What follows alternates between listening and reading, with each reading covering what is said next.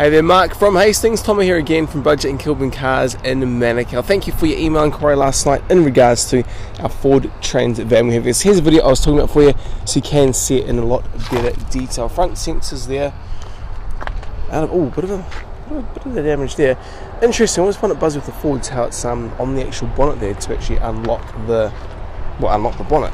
Now, coming around here, let's open this thing up for you. Check it inside, make sure it smells alright, make sure there's not too much damage going on.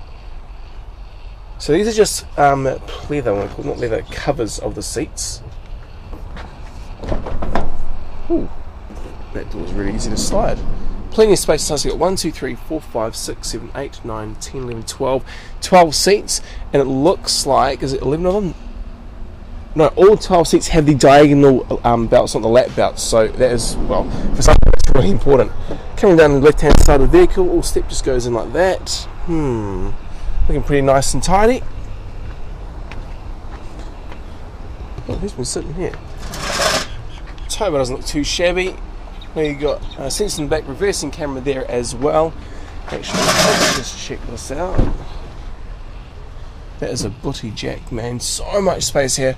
Uh, cages all the way to the top to protect the passengers in the back should the, the driver brake way too hard and cause the baggage to go over. Now, I don't think I remember I said this, but we've selling cars for decades. Um, we definitely know what we're up to. We can definitely sort you out. We can organise delivery if you need as well, but probably best is to get someone or yourself to fly up and drive it back down because um, it'll be a lot cheaper that way anyway.